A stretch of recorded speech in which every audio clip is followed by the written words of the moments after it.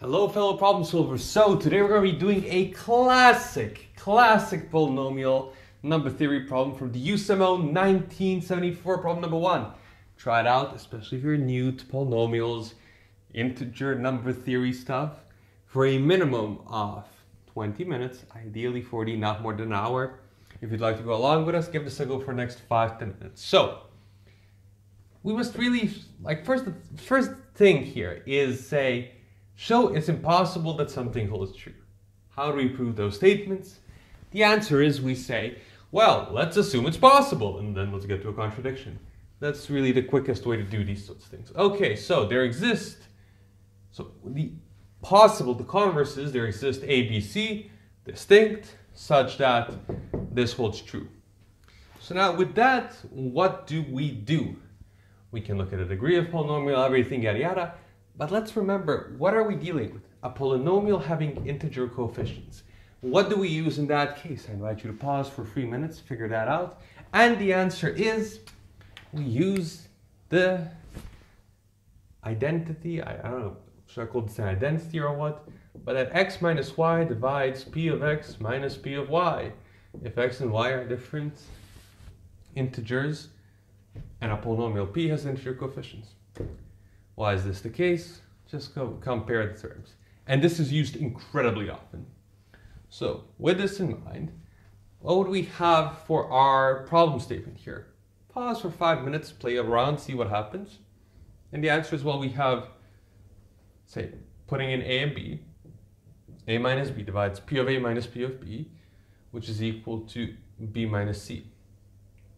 We'd get b minus c, divides c minus a, and we'd get that c minus a divides c minus a, a minus b.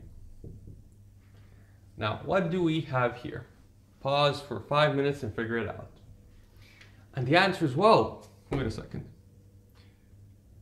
These are some integers, x, y, and z, whose sum is equal to zero and I have x divides y, y divides z, z divides x.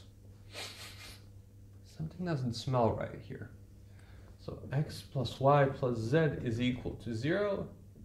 x divides y, y divides z, z divides x. So wait a second, this means that b minus c divides c minus a, which divides a minus b. So the absolute value of all these terms are equal, right? But we have that x plus y plus z, because like this divides this, so it can't be that this is greater than this or smaller than this. And none of these are zero. Very important. A, B, and C are distinct. So what does this mean?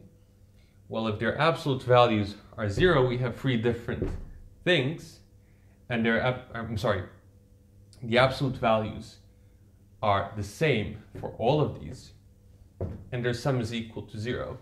I have x plus y plus z is zero, and the absolute value of x is the absolute value of y is the absolute value of z. How can these both of these things be true? Well, these two things imply that x, y, and z are all zero. The reason they do is because, say, all of their absolute values were positive, we'd get 3x is equal to zero. If two were positive, one was negative, we'd get x is equal to zero. If two were negative, one was positive, we'd get minus x is zero. If all three were negative, minus 3x is zero. In every case, these two imply that x is equal to y is equal to z is equal to 0, which implies a is equal to b, a contradiction. And this finishes up, this legit just finishes up the problem, just like that. Problem done, QED. And this is a problem from number theory that I think you need to try out when you're doing polynomials. You need to see it. This is the solution. And as always, thanks for problem solving.